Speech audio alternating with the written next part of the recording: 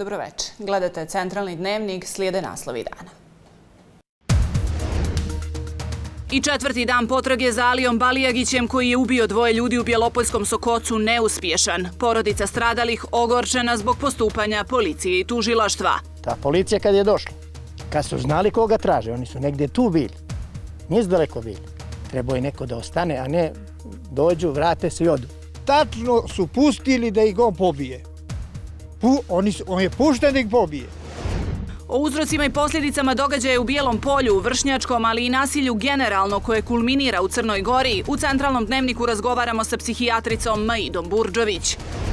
Aleksandar Mijajlović i njegova kompanija Bemax Caribbean bili uključeni u program dodijele državljanstva na maloj ostrovskoj državi Svetoj Luciji. Istraživanje Mansa pokazuje da je Mijajlović vlastima te zemlje priznao da je finansirao opoziciju i dio medija, te da je žrtva političkog progona.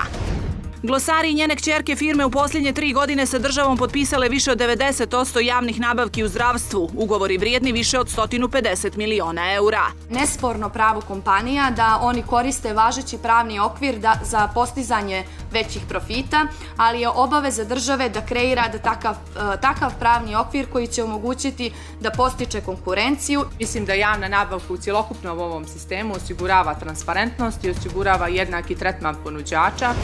Više od polovine građana smatra da u Crnoj Gori postoji diskriminacija po osnovu nacionalne pripadnosti. U porastu procenat onih koji misle da su određene nacionalne grupe privilegovane. Podaci ukazuju da su e, Srbi percipirani kao najprivilegovanija nacionalna grupa uz blago povećanje prosječne ocjene od prošle godine. Sjutra oblačno sa dužim sunčanim intervalima do 25 stepeni.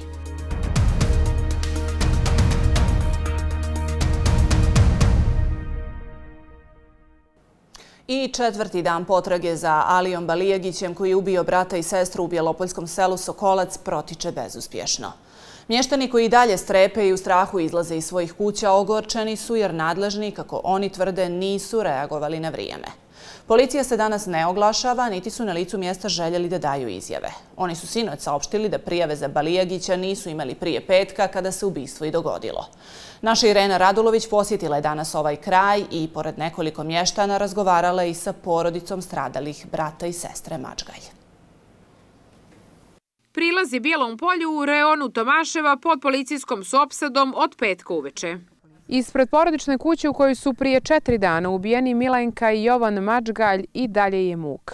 Porodica je razočarana reakcijom policije i traže odgovore na pitanje zašto policije nije ostala u selu Sokolac nakon što im je prijavljeno da Alija Balijagić naoružan obilazi mještane. S druge strane, dok nadležni tvrde da čine sve da uhapse odbjeglog ubicu, samo dvojica policajaca danas su čuvali kuću ubijenih mačgalja. Brat ubijenih, Budimir Mačgalj, kaže da su njegovi sestre i brat kobnog dana najprije u kući ugostili Balijagića, koji se predstavio da je lovac Drašković koji traži odbjeglog psa.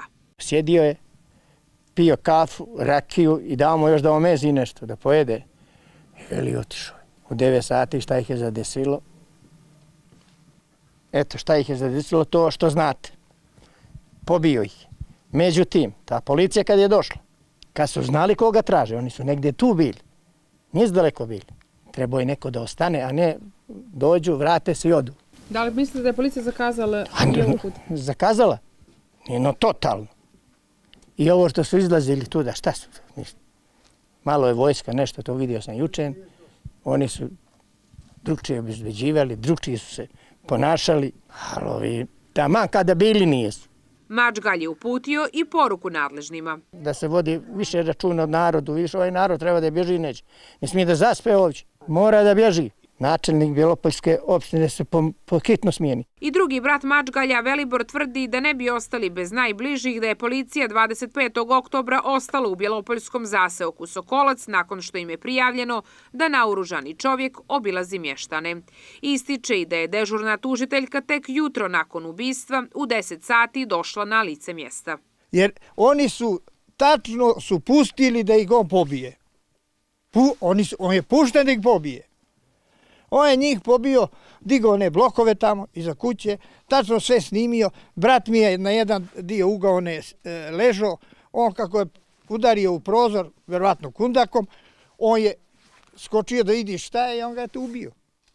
Poslije se ova sestra borila s njima i oni su i nju ubili.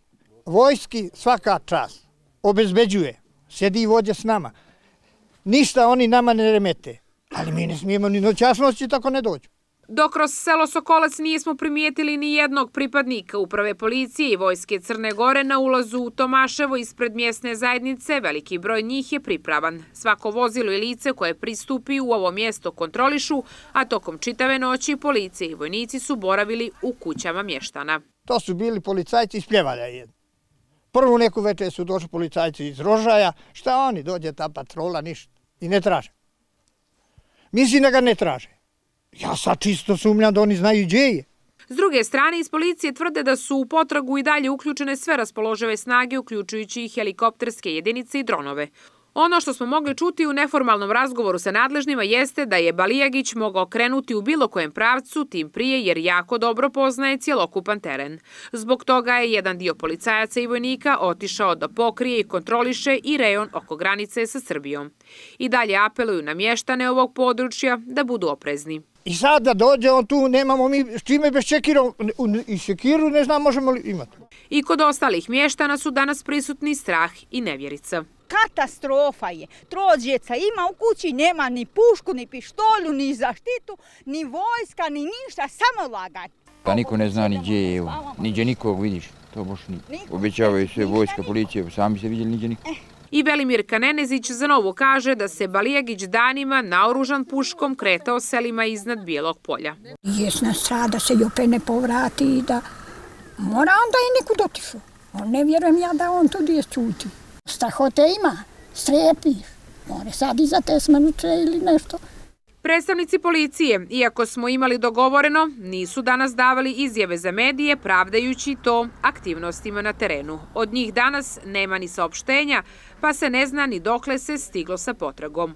Oglasili su se sinoć, demantujući mještane i navodeći da su oni samo na dan zločina prijavili da se Balijagić naoružan kreće tim krajem.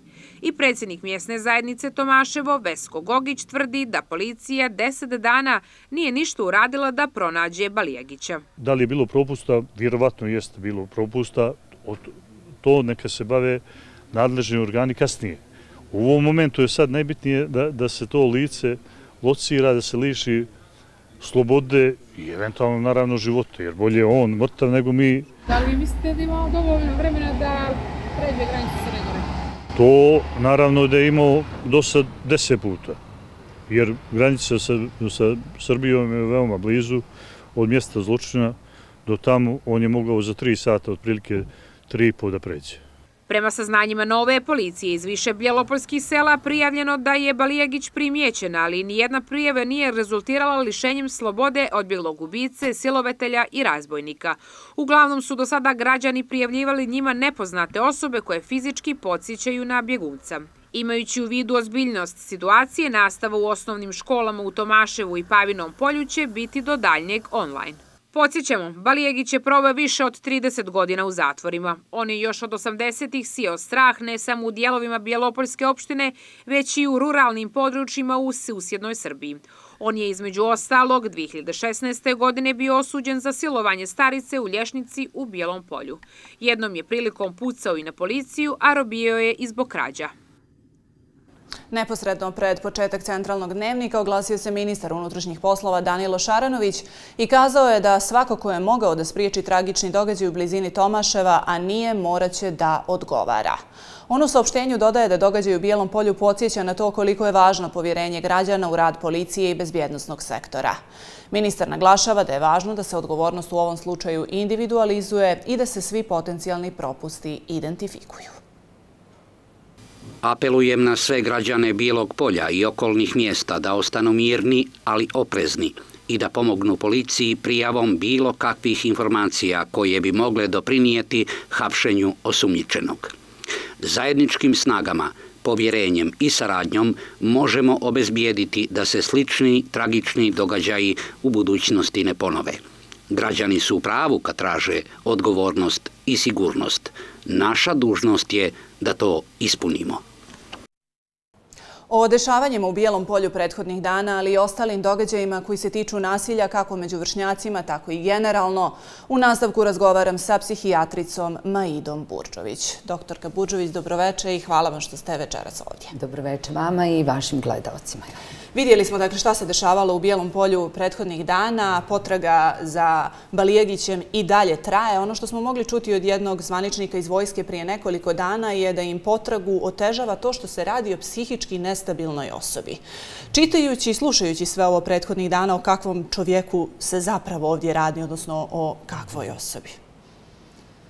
Sada bi mogla na, mislim, elaborirati na osnovu činjenice koje su iz medija, ali onda ja ne bi bila profesionalna da bi pričala o profilu ličnosti kojeg nisam imala priliku niti da pregledam, niti da imam bliski kontakt. Ali ono što je evidentno e, i činjenicu koju moramo svi imati ovaj, u obzir je to da je to čovjek koji je više puta bio suđivan i prosto je u svim tim procesima sigurno nekada morao biti i psihijatrijski i psihološki obrađen, pa kao takav između ostalog i onog trenutka kad je eventualno pušten na slobodu, onda se određeni vid praćenja ili eventualno liječenja ostalo morao dalje sprovoditi ili znači, preduzeti neki vid prevencije. Nažalost, Jelena, ono što se dešava poslednjih dana govori da naše institucije, a ja bih vrlo često rekla koliko i zakonodavno, odnosno sudstvo, pravosuđe i sve to što spada u taj resor, toliko i zdravstvena ovaj, djelatnost, naročito koja se tiče mentalnog zdravlja, apsolutno u ovom trenutku um, pokazuje svoje znake slabosti i to nije u ovom trenutku, to nažalost ovaj, znate već po mojim ranijim ovaj, apelima i negdje gostovanjima da to postoji već duže vrijeme i samo se sporadično kada se desi neka situacija obrati onako pažnje malo više na tu tematiku i vrlo brzo ta vijest postaje pa se kada se znači, bilo šta drugo desi. E, prije nego što nastavimo i sa nekim drugim slučajevima, mnogo se sada govori o tome čija je odgovornost za sve ovo što se dešava. Mještani, čuli smo, optužuju nadležne i ogorčeni su i na policiju i tužilaštvo da nisu reagovali pravovremeno. I je li upravo u ovome problemu čemu ste kazali da je ta osoba morala biti pod nekim posebnim tretmanom i nadzorom? I šta biste poručili mještanima koji sada možda ovo i slušaju i gledaju i sjede zaključani u svojim domovima i ne smiju da izađu napolje jer policija i dalje traga za nekim koji ih ugrožava? Kao društvo još nismo dovoljno sazreli da prepoznamo i da shvatimo da u našem, ovaj, u našem okruženju, u našim porodicima, u našim komšilucima žive ljudi sa raznim ovaj, oblicima psihopatologije, pa između ostalog razne psihopatije i to ne moraju da budu ovaj, nužno neki nama strani ljudi, nego čak i bliski. Eh, jako se puno mm, u poslednje vrijeme priča o raznim psihijatrijskim poremećajima, nekako najčešće o depresiji, o stresu i takvim vidovima poremećaja, ali vrlo često izostaje ono što je potrebno naročito naglasiti, a to je prepoznavanje neke psihopatologije koja osim toga što može da ugrozi samog tog pojedinca, može da ugrozi okruženje. Osnovni zadatak psihijatrije i pravosuđe između ostalog da društvo u kome djeluje učini boljim mjestom za život. E, naši sugrađani, tačnije ja sam iz Bijelog polja pa onda odlično poznajem i tu problematiku i taj teren i sve nekako, nažalost kao da se stiče utisak da su ljudi uglavnom prepušteni sami sebi čak i kada se taj problem dešava unutar porodica, oni ih prikrivaju, ne prijavljuju. Vrlo često se brže bolje ako se neko i odvaži da prijavi neko nasilje, smatra znači, da je on nekako izdao porodicu, da je on uradio sve što nije trebalo, da je to trebalo na neki drugi način tretirati. Iako smo svjedoci da, kažem, taj porast više ne bira čak ni godine kada se, prosto sve je niža granica kada se odgrivaju ove psihopatološke ovaj, psihopatološki simptomi i kada se njihovo ponašanje evidentira kao ekstremno. Mhm. Znači, ne postoji momenti kada mi to preveniramo u nekom da je blažoj formi, u nekoj, znači, prosto formi gdje mi možemo reakcijama da spriječimo ovakve ovaj, situacije. Ono što se tiče sugrađana, zaista je jako važno ostati miran i koliko je moguće staložen. Znači, oni koji se ne osjećaju bezbjedno, znači, prosto mogu potražiti utočište možda kod svojih bliskih srodnika, iako, nažalost, onako kako dobijemo informacije, evo po i ovome što mediji govore, nekako one ne zvuče optimistično i umirujuće ili ih skroz nemamo, što dodatno izaziva nemir kod svakog pojedinca, ili ako su rečene, one su šture i uglavnom se svi pravdaju postupkom koji je u toku i koji traje i zbog njega znači da se ne može biti nekako ovaj, dati barem nekih više informacija koje bi služila svima koji su barem na tom reonu. Eh, ovaj slučaj, nažalost, nije izolovan, jeste kada je riječ o posljedicama, naravno, ali evo imali smo prije 20 dana slučaj u baru kada je maloljetnik izboden nožem od strane njegovog vršnjaka. Eh, taj maloljetnik je bio u pritvoru, on je nakon toga pušten, imamo sada proteste koji se organizuju zbog toga. Gdje smo i da li smo kao društvo pogriješili, je li ovo kolektivna ili individualna odgovornost kada su nam ovakve stvari postale svakodnevica? Mi imamo evo i u susjednoj Bosni i Hercegovini također su u pitanju maloljetnici. Nažalost, planeta Zemlja bilježi porast nasilja i agresija nikad nije rezultanta nečeg dobrog. Ona je uvijek rezultante straha. Znači, kako se pritisak i strah u društvu pojačavaju ili nekakve tranzicione promjene i sve ono što, što čega smo svjedoci, onda je porast nasilja, svakog oblika nasilja, ovaj, evidentan. Ali ono što je kod, za nas karakteristično, čini mi se da bez obzira na porast nasilja i nad ženama i vršnjačkog nasilja i svega, kao da i dalje izostaju pravovremene reakcije, oni koji bi e, najviše trebali da reaguje na to, a to su, to je naš parlament i naša vlast. Mhm. Znači, mi smo dužni da ukoliko bilježimo toliko već dugo porast nekog nasilja, da prosto osmislimo dobro zakone i kazne koji će biti prevashodno adekvatne, a onda i pravovremene. Kad kažem pravovremene, ne smijemo se oslanjati na to da će neko biti u nekom postupku sudskom koji će trajati, a istovremeno kada mu prođe ona mjera pritvora ili sve ono nešto što je u prvom aktu izrečeno od strane pravosuđa i ovaj već određenih njegovih grana, znači on biva pušten na slobodu do konačne presude i to traje. Znate, pravda, ako nije u pravom trenutku donešena, postaje dio nepravde. I mislim da je to problematika zbog toga adresiram to upravo na vlasti vladu i na parlament koji je dužan da na ovakve događaje reaguje ničim drugo, ono je novim zakonima i novim mjerama kojima će takvo ponašanje i takvi oblici ponašanja biti zaista sankcionisani. Ovaj drastičan primjer kada su djeca u pitanju nas još više treba uplašiti jer na kraju krajeva mi smo svjedoci da je nedavno to bilo i u susjednoj Srbiji i da taj epilog suđenja i sve to prati cijela javnost. Nažalost, sve nas podsjeća na to. Apsolutno. Nažalost, svaki takav događaj, nažalost, postaje i primjer nekima drugima.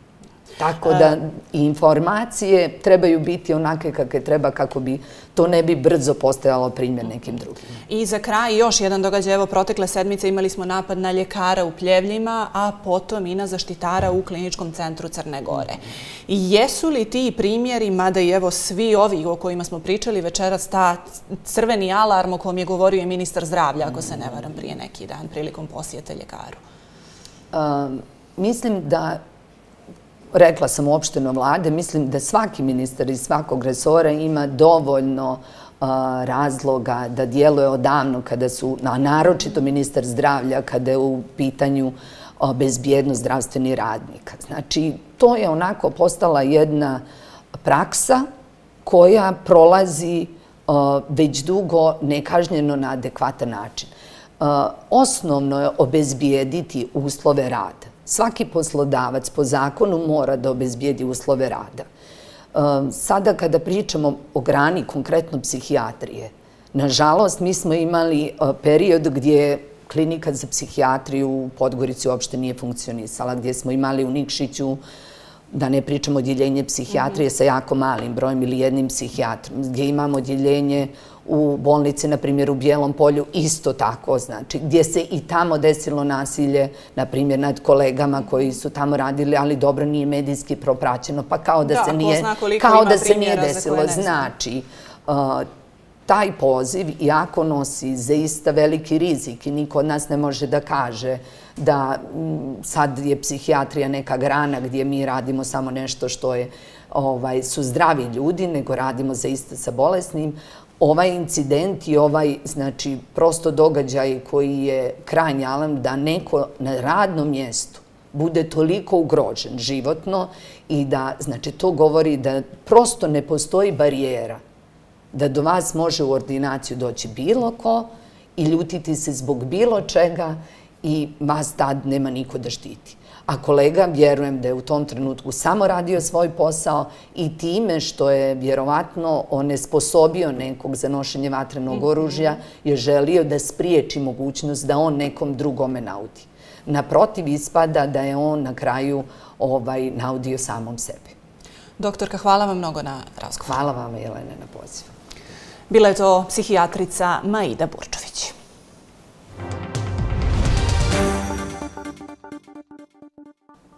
Najkasnije u petak popodne bit će objavljeni konačni rezultati lokalnih izbora u Podgorici. To pod uslovom ako se budu odluke donosile u krajnjim zakonskim rokovima, a u suprotnom je moguće i ranije. Ustavni sud danas je zatražio izjašnjenje Dika oko preostalih 13 prigovora pokreta naprijed Vuka Kadića o navodnim izbornim nepravilnostima. Komisija ima 24 sata da se izjasni, a Ustavni sud potom 48 da donese odluku. Dakle, najkasnije do četvrtka uveče, nakon čega OIK u roku od 12 sati treba da utvrdi konačne rezultate. Ustavni sud je prošle sedmice odbio Kadićevu žalbu na izborni rezultat na biračkom mjestu u Doljanima u Podgorici, a nije donio odluku oko dvije žalbe koalicije Demokrata i PES-a u Kotoru jer je rezultat glasanja bio neriješen. Sada je na potezu Kotorska izborna komisija koja treba da odluči o ponavljanju izbora na dva biračka mjesta, ali je pitanje da li će i oni imati potrebnu većinu. Bemax Caribbean, čiji direktor je donedavno bio Aleksandar Mijajlović, je uključen u program dodijele državljanstva na Svetoj Luciji, malenoj ostrovskoj državi u Karibima u Centralnoj Americi. Navedeno je u istraživanju mreže za afirmaciju nevladinog sektora. U videu koji je Mans objavio vidi se priznanje da je Mjajlović finansirao opozicijonu stranku koja je izgubila na parlamentarnim izborima i dio medija, a tvrdi da je žrtva političkog progona u Crnoj Gori. U pismu dostavljenom vlastima Svete Lucije navodi kako ih je informisao da je nakon hapšenja prebacio svo svoje vlasništvo u raznim poslovima na druge investitore. Prema riječima nadležnog podpredsjednika vlade te države, oni planiraju da nastave sa projektom za koji se trenutno raščišćava teren, a novi direktor Karibskog Bemaksa umjesto Mijajlovića je Veselin Kovačević. Farmaceutska kompanija Glosari i njene kćerke firme u minule tri godine potpisale su sa državom ugovore za više od 90% javnih nabavki u oblasti zdravstva.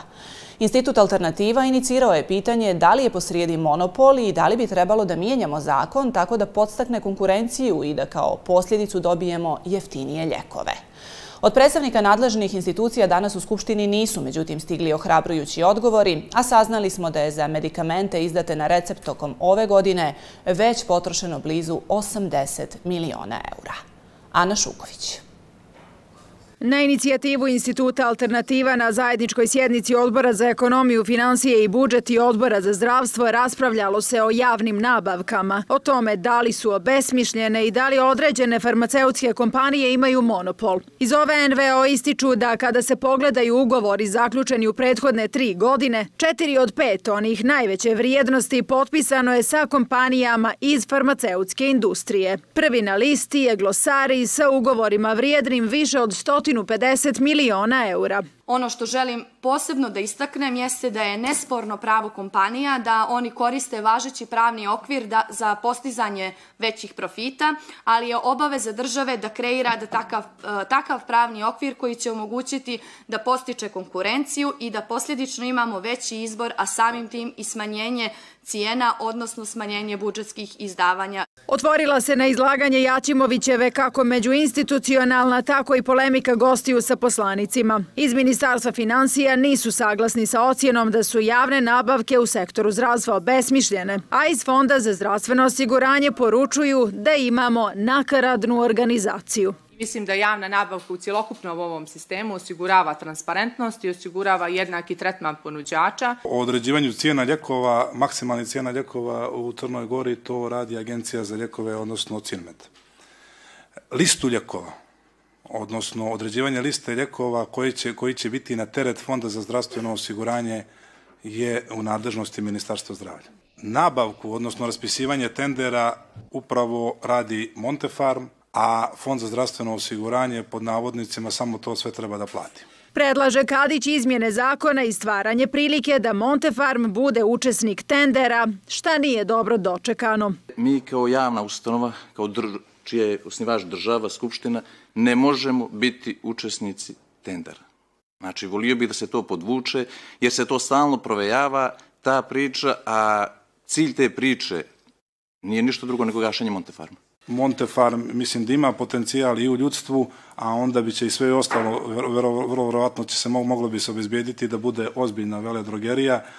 Da li u njemu radi 550 trenutno zaposlenih, možda bi na ovaj način radili hiljadu ako bi, što se kaže, proširili mu nadležnosti. Da li u Crnoj Gori postoji farmakomafija, pitao je poslanik DPS-a Mihajlo Andjušić, a zanimalo je to i druge članove odbora. Frapira me činjenica da imamo jednu e, privatnu firmu, Glosari, koja je za tri godine zaradila preko 150 miliona eura. Imamo pitanje cijene ljekova i to bi volio da objasnimo više građanima, jer stalno se potencira ta priča i građani s pravom negativno reaguju da su negdje cijene ljekova mnogo, mnogo jeftinije nego kod nas. A odgovori za građane sa sve plićim džepovima nimalo ohrabrujući. Jeste da se pregovara sa proizvođačima i distributerima, međutim kada dođete u situaciju da jedna e, farmaceutska kuća nudi određeni lijek koji se mora naći na listi, vama su prosto ruke vezane jer želite da obezbijedite efikasnu zdravstvenu zaštitu. E, ono što bi možda negdje bio, da kažem, predlog vlade jeste da se razmisli o regulisanim maržama, odnosno maksimalni, maksimalni dozvoljeni maržama za veleprodaju i maloprodaju ljekova. Oni su se prijavili na tender koji je javni. Dobili, ne dobili. Da li oni imaju 90% ili 9% ili imaju 100%, to nije predmet, predmet mog interesovanja. Meni interesuje pacijent i lijek koji ćemo mi njemu da obezbijedimo. Da se ne bi sva krivica i odgovornost svalila na državu, na odboru je saopšteno i da se ljekovi neracionalno troše, te da smo za medikamente izdate na recept ove godine već potrošili blizu 80 miliona eura. Mješteni i mjesne zajednice Bogetići protestovali su na putu prema Ljeskovim dolima gdje je nedavno zakopana, eutanazirana i uginula stoka, oboljela od kiju groznice. Ponovili su da je lokalitet uzurpiran bez njihovog znanja i saglasnosti, te da su im kolibe i vikendici u neposrednoj blizini lokacije gdje je zaražena stoka zakopana. Istakli su i dva zahtjeva prema opštinskom rukovodstvu koja će, ukoliko ne budu ispoštovana, dovesti do blokade magistralnog puta Podgorica-Nikšić baš na raskrsnici Bogetići.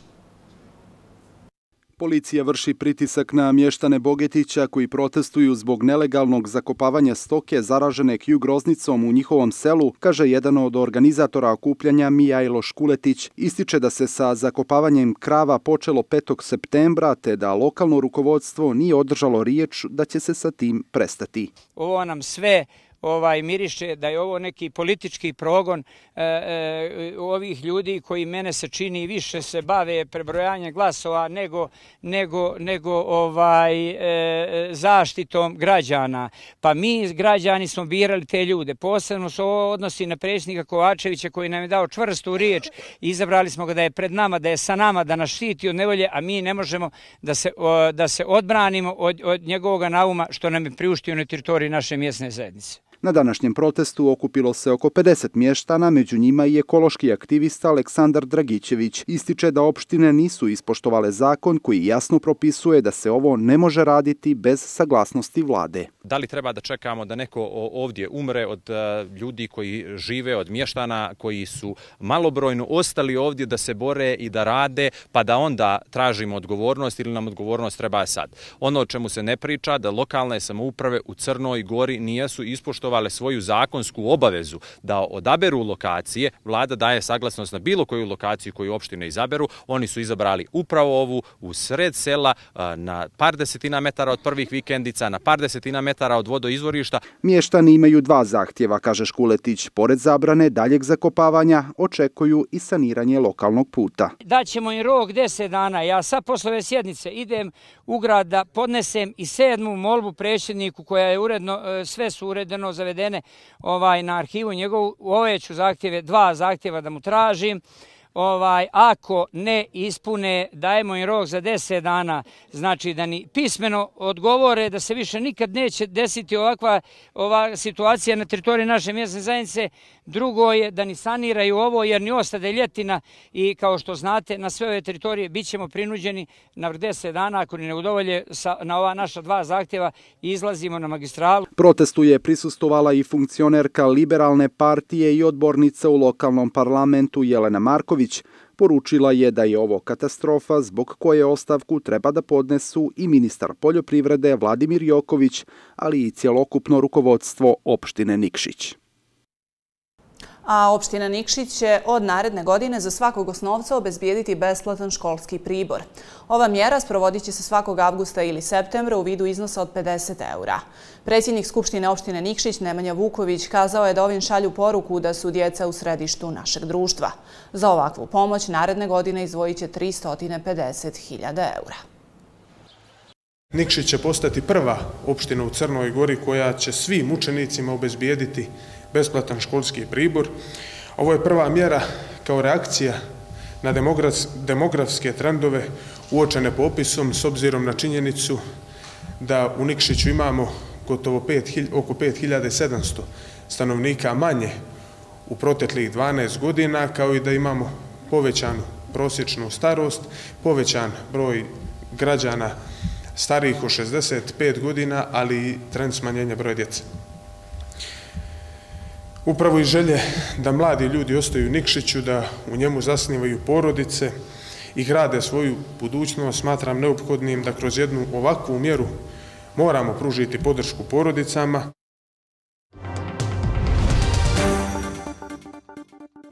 U nastavku gledamo i ostale visti.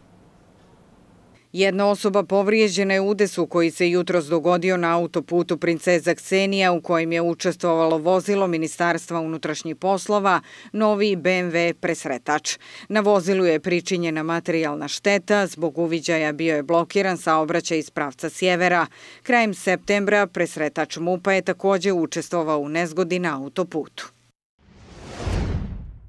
Na teritoriji opštine Tuzi pronađen je skelet saopšteno iz uprave policije. Preduzimaju se, kako su naveli, mjere i radnje iz njihove nadležnosti. Prema još nepotvrđenim informacijama, skelet je nađen u blizini graničnog prelaza Božaj.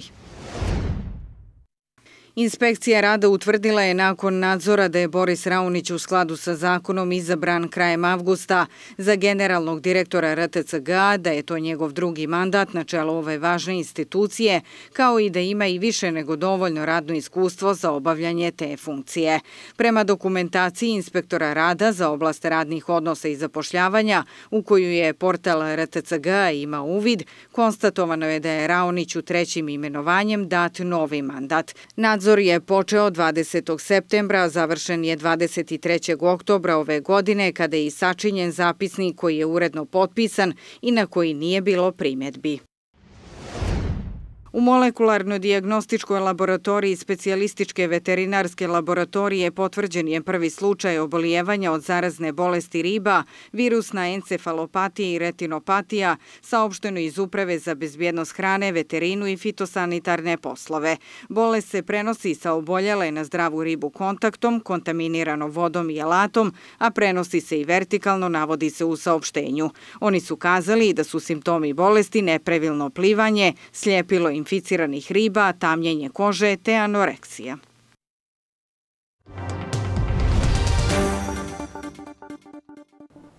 Danas je predviđena hitna sjednica Savjeta bezvjednosti Ujedinjenih nacija o izraelskom napadu na Iran. NATO je potvrdio da se trupe Sjeverne Koreje bore za Rusiju. SAD i Evropska unija traže istragu nakon izvještaja o nepravilnostima na gruzijskim izborima. Sjednica Savjeta bezbjednosti Ujedinjenih nacija biće održana danas na zahtjev iranske misije zbog izraelskog napada na Iran u noći između petka i subote. Kako prenosi Reuters, švajcarska misija pri UN-u saopštila je da je sastanak zatražio Iran uz podršku Alžira, Kine i Rusije. A port parol Iranskog ministarstva spodnjih poslova kazao je da će Iran upotribiti sve dostupne alate u odgovoru na napad Izraela na vojne ciljeve tokom vikenda. Da, da, stres je Koristit ćemo sva raspoloživa sredstva za odlučan i efikasan odgovor na agresiju cionističkog režima. Vrsta našeg odgovora biće zasnovana na vrsti napada.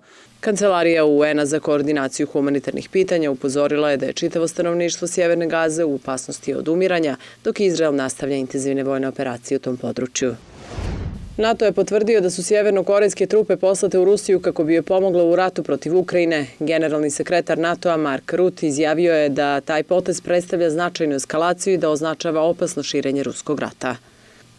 I can confirm Mogu da potvrdim da su sjevernokorejske trupe poslate u Rusiju i da su sjevernokorejske vojne jedinice raspoređene u regionu Kursk, ali ovo raspoređivanje sjevernokorejskih trupa u Kursk je također znak Putinovog rastućeg očaja. Preko 600.000 ruskih vojnika je ubijeno ili ranjeno u Putinovom ratu, a on nije u stanju da izdrži svoj napad na Ukrajinu bez strane podrške. Ruto je dodao i da će NATO saveznici nastaviti da podržavaju slobodnu i demokratsku Ukrajinu jer je bezbjednost Ukrajine bezbjednost svih. Gruzijska predsjednica Salome Zurabišvili pozvala je na proteste nakon spornih parlamentarnih izbora u Gruziji, a Sjedinjene američke države i Evropska unija zatražili su potpunu istragu izvještaja o nepravilnostima u glasanju. Rezultati predstavljaju udarac za prozapadne Gruzice koji su glasali u subotu i birali između vladajuće stranke koja ojačala veze sa Rusijom i opozicije koja želi što bržu integraciju sa Evropom. Vladajuća stranka Gruzijski san osvojila je gotovo 54% glasova, objavila je komisija, dok su stranke opozicije osporile ishod, a posmatrači, zabilježili značajne nepravilnosti. Bugarska stranka desnog centra Gerb bivšeg premijera Bojka Borisova pobjedila na parlamentarnim izborima održanim juče, pokazuju preliminarni rezultati, ali će morati da traži koalicijenog partnera da bi formirala vladu. Prema preliminarnim rezultatima Državne izborne komisije na osnovu dijelimičnog prebrojavanja glasova, Gerb je osvojio 26,8% glasova. Reformistička stranka nastavljamo s promjenama, druga je sa 14,76%. Objavljeno je na internet stranicama komisije nakon prebrojavanja više od 82% glasova, dok je ultranacionalistička stranka preporod treća sa 13,8%. Održavanje nedeljnih izbora, sedmih u četiri godine, podstaknuto je neuspjelim dogovorom bugarskih političkih političkih stranaka u pogledu formiranja koalicijone vlade nakon neuspjelih izbora 9. juna. Novinar televizije Crne Gore Saša Radović kazao je kako se nada da će rukovodstvo javnog servisa smoći snage da se odbrani od uticaja politike i napada na njega kao novinara i da će biti adekvatno nagrađen za iskazanu slobodnu, hrabru i istinitu riječ. Opština Zeta saopštila je prethodno da su se obratili generalnom direktoru RTCG-a Borisu Raoniću, predsjedniku Savjeta javnog servisa Veselinu Drljeviću i članovima tog tijela, protestujući zbog izvještavanja Radovića sa manifestacije Dani zetskih kolača i priganica u okviru kojih je nastupila i srpska folk pjevačica Jelena Karleuša. Traže da nadležna tijela RTCG-a pokrenu hitnu istragu u vezi sa postupanjem Radovića, koji kaže da je meta pritisaka i prijetnji. Sindikat medija ukazao je između ostalog da je pitanje etike nadležnost ombudsmana kojeg RTCG nema, te da savjet ne može raditi njegov posao. Radović tvrdi da mu se direktorica Zetske turističke organizacije nije javljala na telefon prije uključenja, te da mu je nakon njega i prijatila. Skoro 60% građana smatra da u Crnoj Gori postoji diskriminacija po osnovu nacionalne pripadnosti, a kao najdiskriminisanija grupa i dalje su viđeni Romi, pokazalo je istraživanje Centra za građansko obrazovanje na uzorku od hiljadu ispitanika. Prema istraživanju, građani smatraju da su Srbi najprivilegovanija nacionalna grupa u Crnoj Gori, dok je privilegovanost Crnogoraca manja u odnosu na prethodnu godinu.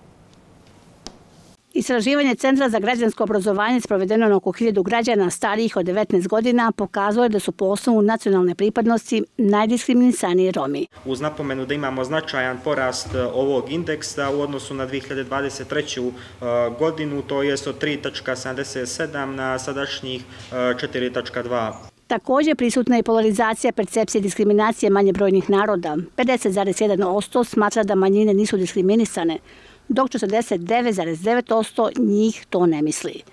Blizu 55% anketiranih građana vjeruje da su pripadnici određenih nacionalnosti i nacionalnih grupa privilegovani i taj procenac je u porastu u odnosu na prošlu godinu. Podaci ukazuju da su e, Srbi percipirani kao najprivilegovanija nacionalna grupa uz blago povećanje prosječne ocjene od prošle godine sa 3.46% e, u 2023. na 3.49 u 2024. godini, dok istovremeno pada percepcija prilivegovanosti crnogoraca sa 3.44 na 3.30.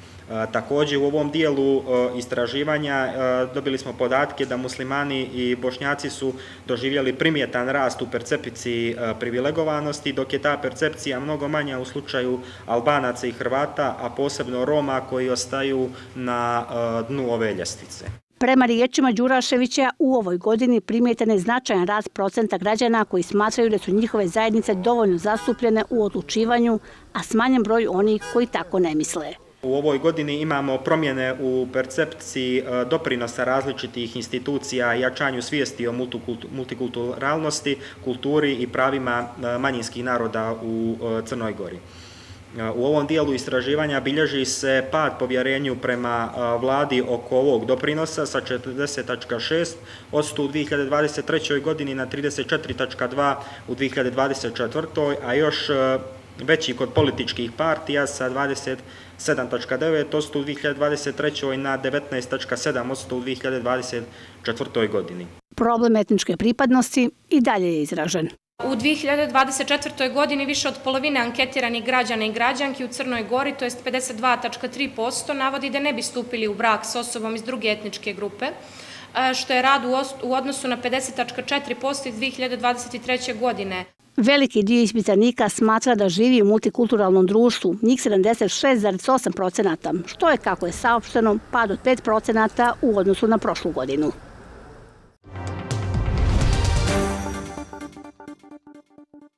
O sportu će Milutin Grgur, Miki, Buran, vikend za nama. Da, da, Jelena, evo osvrta. Okončana je još jedna runda našeg futbalskog šampionata, trka sve zanimljivija. Svega pet golova u isto toliko utakmica 14. kola prve futbalske lige Crne Gore. Dečić i Sutjeska nikako da pronađu izlaz iz krize, budućnost vezala drugi poraz, nema sumnje da je uz Petrovac Bokelj u najboljoj formi.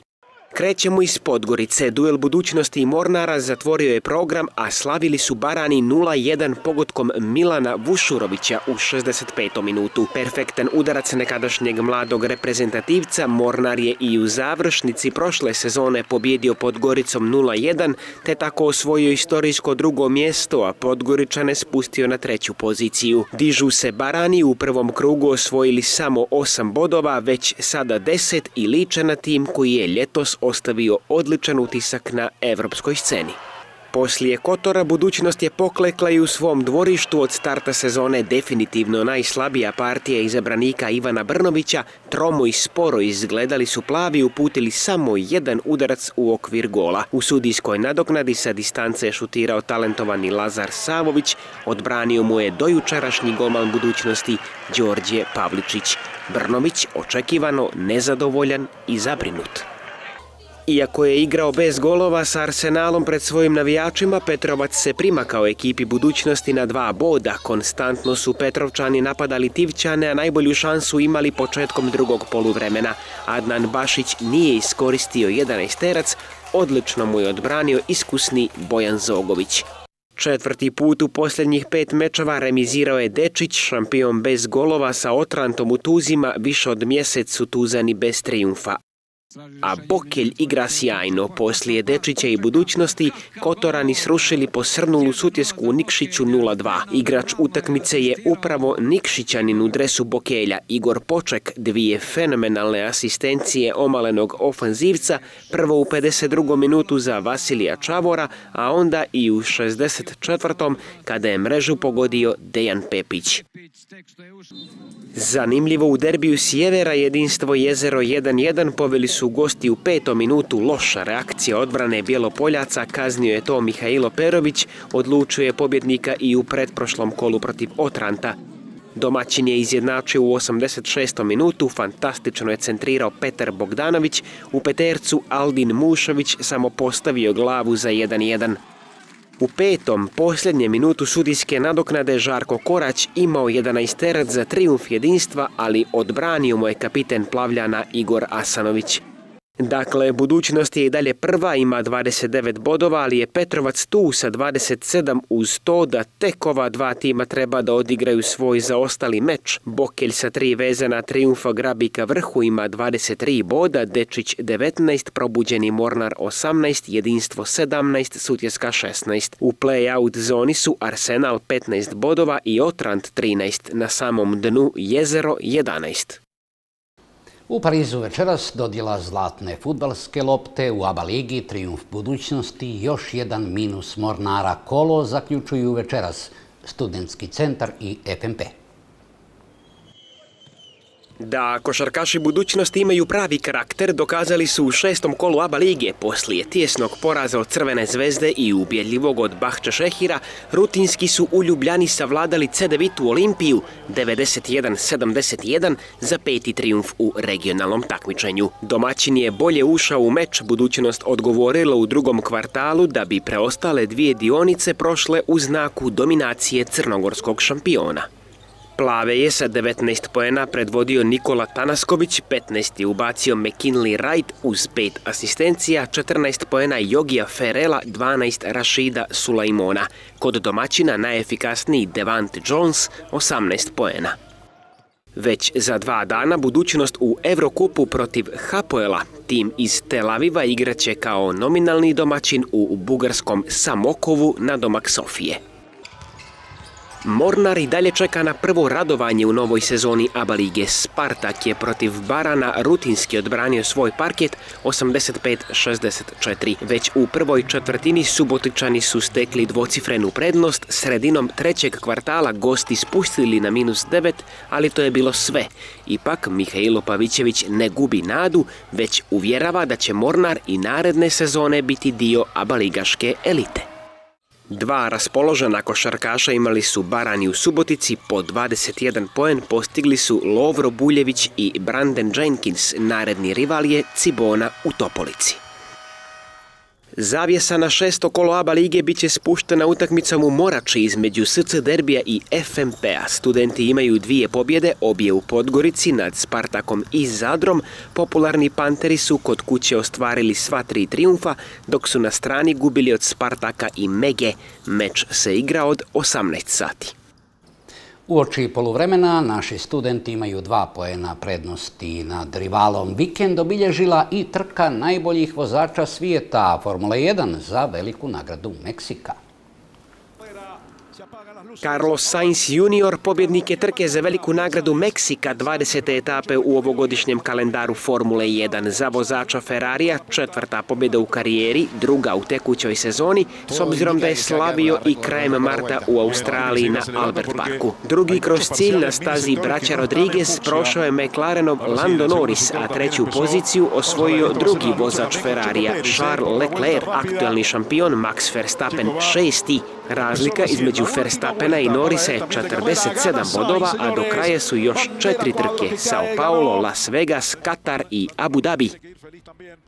Rukomentaši Lovćena plasirali se u treće kolo kupa EHF o svemu detaljno u našem pregledu dana od 21 sati i 10 minuta u dnevniku o sportu. To je sve, Lelice, izvoli. Hvala ti, Miki. Sportom završavamo centralni dnevnik. Vi ostanite uz novu. Prijatno večer.